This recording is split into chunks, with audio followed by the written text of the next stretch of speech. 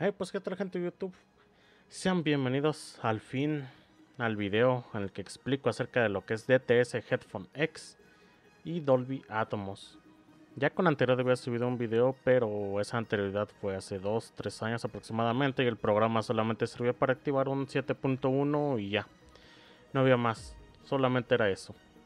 Pero ahora van a notar todo lo que cambió Dolby Atmos y que es Headphone X. Aclarando, ambos programas son de pago, digo esto porque pues también ese video recibió muchos dislikes porque no había puesto links de descarga cuando yo había especificado que el programa era de pago. Pero bueno, se me hizo una reverenda estupidez en ese momento, así que simplemente ignoré el video, la verdad. Y pues después de mucho tiempo que yo con el paso del tiempo pues, volví a Logitech y no había la necesidad de hacer Dolby Atmos porque pues ya no tenía unos audífonos como eran los Eagle Warrior en ese entonces. Y opté por buscar ya algo que no tuviera un DAC y ya mejor, bueno, un DAC de estos sencillos, eh, tarjeta de sonido USB y, mejor algo directo 3.5 y ya en un futuro comprar un DAC de verdad, un DAC bueno. Pero primero la gráfica antes que nada. En fin, sin hacer más larga la introducción, de momento les recomiendo que todos los gameplays que se vayan a ver eh, van a estar grabados a su máximo volumen para que noten el cambio de ecualización entre cada uno. Por otro lado, lo que les recomiendo es que bajen el volumen y si tienen alguna ecualización o algún sistema de sonido espacial, lo tengan desactivado. De momento yo tengo exactamente como les explico, sonido desactivado y ecualizaciones todo está deshabilitado para que el sonido sea puro. En esta fracción de video, en estos primeros 2-3 minutos va a ser sonido 100% puro. Dolby Atmos. Como dije, un programa el que solamente habilita el 7.1 y pues es lo que es hoy en día igual. 7.1 pero digamos que ya es su máximo esplendor. No podemos ver las configuraciones porque no está habilitado, eso ya se lo voy a mostrar más adelante. Pero también me comentan que es el Home Theater, pues ya saben, el Home Theater tiene que estar conectado a su tarjeta de video vía HDMI y dicho tatrancasa o bocina barra de sonido debe tener el HDMI ARC para que funcione 100% con Dolby Atmos. Y pues no tengas ningún problema porque si usamos este, conexiones 3.5 la óptica nos va a mandar a esta función que es la de los headphones, o sea, lo de los audífonos. Se va a escuchar, pero si tenemos bocinas 3.5 multicanal no vamos a notar el sonido en todas las bocinas, solo va a ser 2.1 y hasta ahí. Es por eso que unos audífonos funciona perfectamente porque el entorno es virtual y solamente tenemos pues los audífonos directamente en la cabeza. Con DTS pasa algo similar, pero eso ya lo veremos más adelante. Antes que nada, voy a estar pausando constantemente el video porque no se puede continuar la grabación mientras se cambia de ecualización y de sistema de sonido espacial. Y me van a decir el Windows Sonic cuenta. Pues sí, pero es horrible el audio. Yo personalmente siento que es demasiado alto el audio. Solamente es eso. Uh, volumen súper alto y no, no nos lleva a nada de calidad comparado con Atmos y DTS. Por lo son de paga, ¿no? Pero bueno. Todo lo que oyen de fondo es para que noten cómo es el audio puro. Los juegos que vamos a utilizar por estas pruebas de sonido van a ser Deep un juego PvP de buzos contra tiburones, un clásico, un clasicazo. Y este es porque el juego es, como les digo, buzos, obviamente, bajo del agua. Para que noten cómo se oyen esos sonidos bajo el agua. Eh, de crew, de crew 2, obviamente. Y me parece que vamos a utilizar War Z. No estoy del todo seguro, pero vamos a utilizar eh, probablemente ese. Porque es uno de los pocos juegos que tiene múltiples fuentes de audio en un solo momento oleadas infinitas de zombies, básicamente. Así que, ah, bueno, antes de continuar, no expliqué del todo qué es DTS. DTS va a ser una aplicación con la que nosotros podemos seleccionar montones e infinidades de ecualizaciones para audífonos. Y de esta manera vamos a configurar los audífonos que tengamos conectados a que se escuchen tal cual a dicha ecualización de dicho audífono. Tenemos alrededor de 479, básicamente 500 auriculares como aquí dice. Y si tenemos unos ya DTS dedicados, este, pues simplemente seleccionamos esta opción y listo. Pero honestamente les digo que mejor experimenten con los suyos, busquen unos que les gusten como se oyen y con eso. Yo personalmente, como ya sea una aplicación eh, parecida en el teléfono, la utilizaba para el auto estéreo, es Jet Audio con Bongiovi. Es exactamente la misma función, que de hecho, para guardar un poquito de cómo se oye Windows Sonic, vamos a grabar el siguiente fragmento mostrándoles qué es Jet Audio para que lo comparen con Headphone X porque es exactamente la misma función dicho plugin Bongiovi. Bien, pues ya estamos grabando con sonido espacial Sonic de Windows. Y esto es lo que les quería mostrar. La aplicación de Jet Audio. Ahí me equivoqué. La aplicación de Jet Audio tiene estas funciones que son su ecualizador, efectos de sonido AM3D y el famoso Bongiovi que es el que les estaba mencionando. Bongiovi justamente hace lo mismo que hace DTS.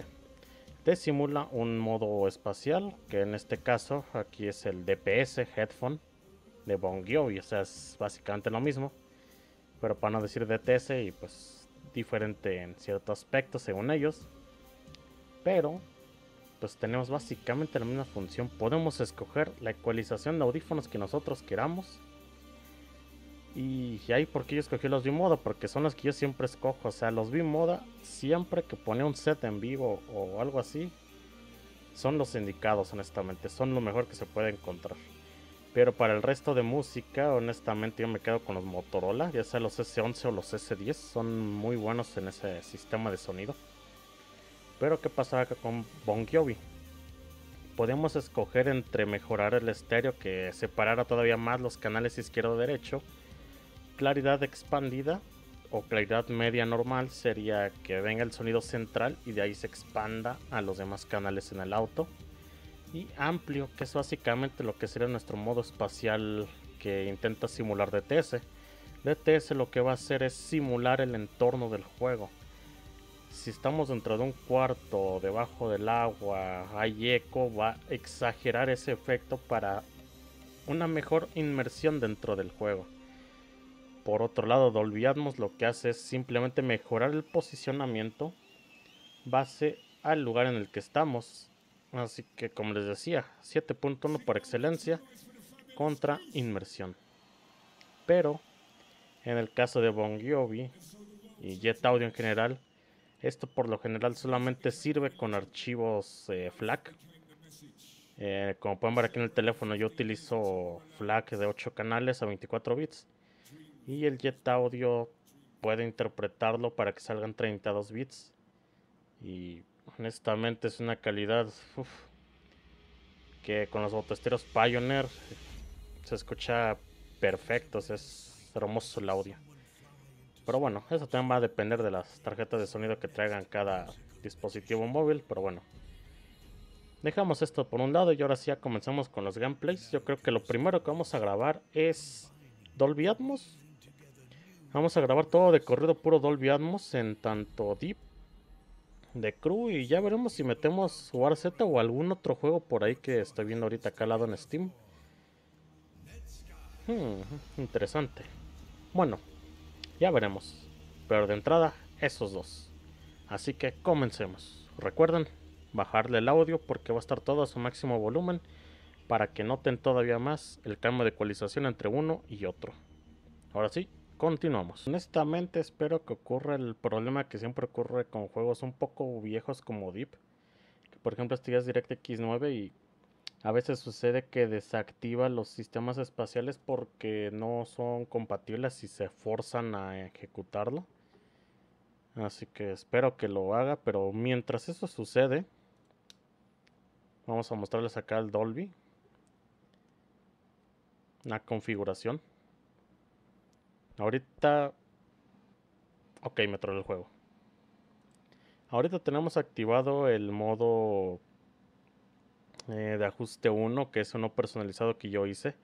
Tal vez eso explique el por qué estaba tan alto el audio. Tal vez eso lo explique muy bien.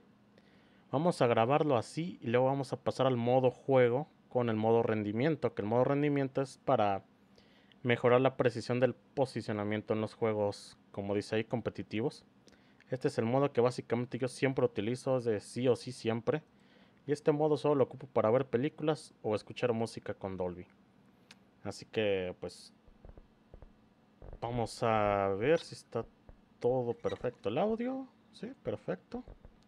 El juego no se crashó. Me parece que está todo perfecto. Sonido espacial Dolby, sí. Ok. Buscamos partida. Presten atención a los audios.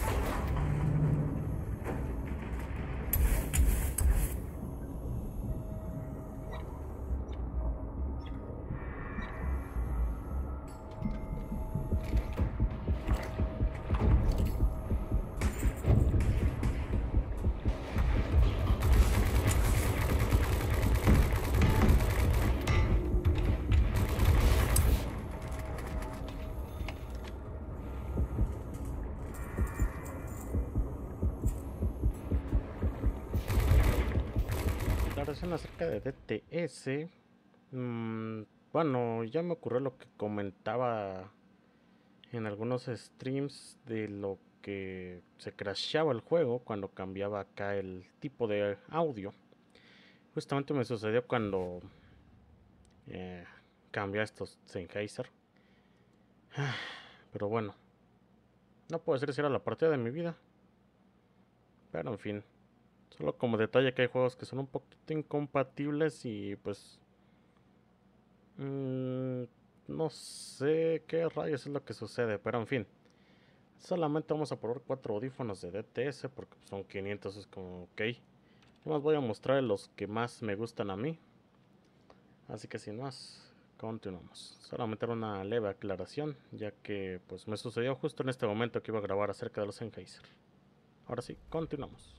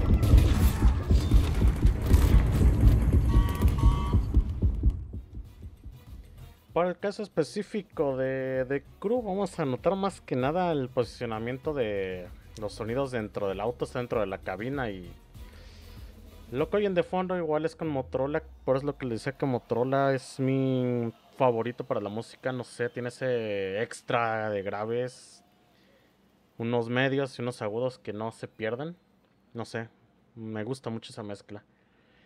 Y pues ahorita que está esto aquí de fondo, pues estamos preparando un video muy específico acerca de los DPIs por ahí tal vez ya saben de un juego que se llama Diabotical, que es básicamente una copia de Quake.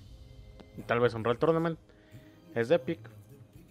Y ahí voy a hablar de por qué 7200 DPIs no se me hicieron suficientes. Pero eso no quiere decir que el mouse sea malo. Solo como yo soy jugador de altos DPIs, se me hizo lento. En fin, eso es para otro video. Ahorita enfocámonos en el audio.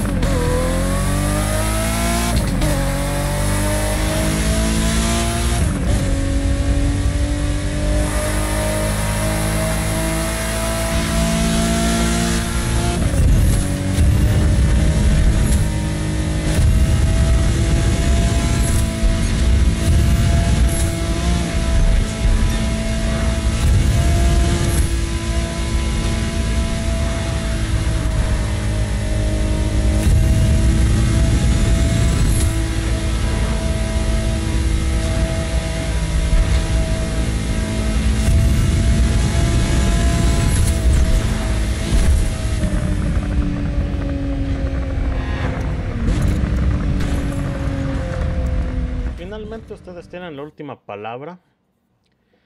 Dolby o DTS Headphone X.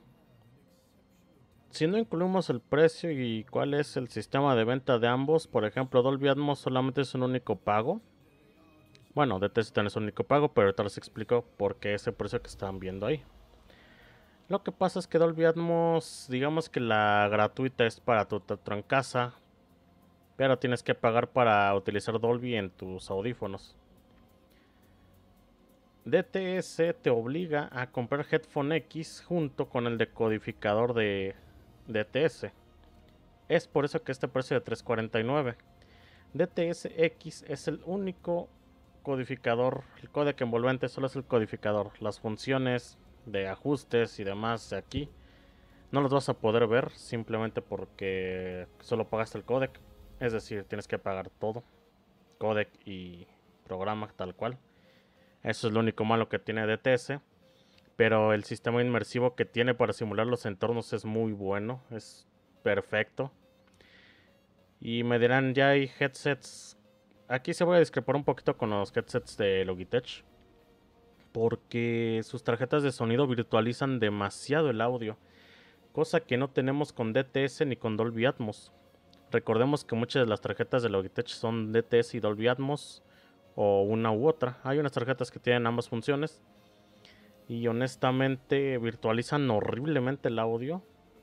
Bueno, al momento de usarlo puedes decir creo que estoy virtualizado, pero te acostumbras.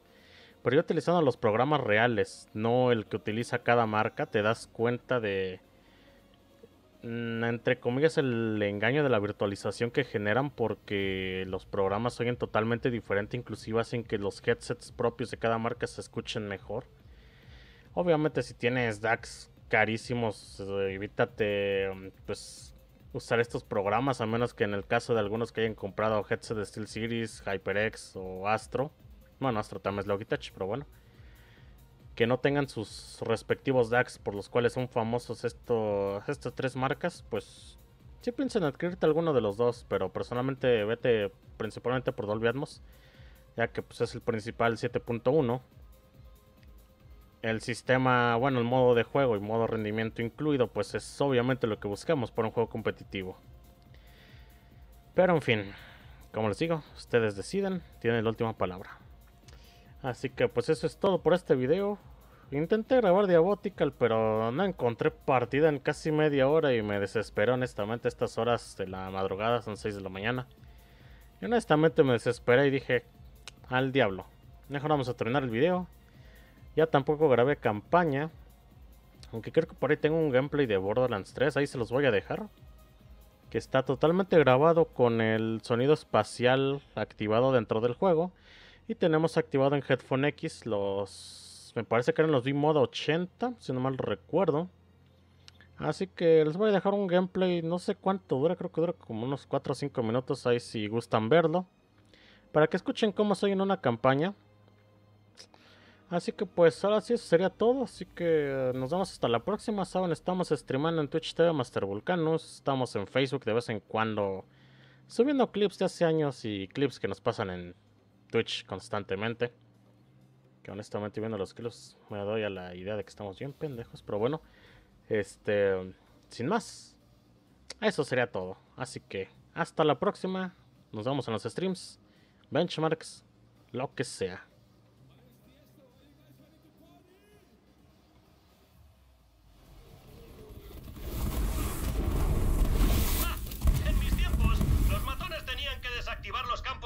Fuerza, no saltar por encima de ellos. Me da a mí que vas a tener que acabar con el generador que hay al otro lado.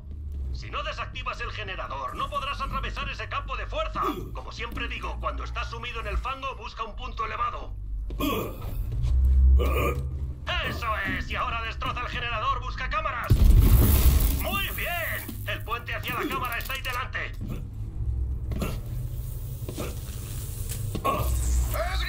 Los de Maliguan hasta que me... ¡Cómeme los huevos hermano mayor! ¡Busca cámaras!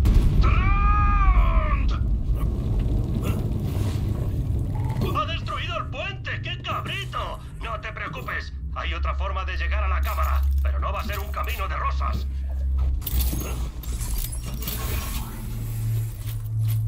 Está bien tener algo de compañía para variar.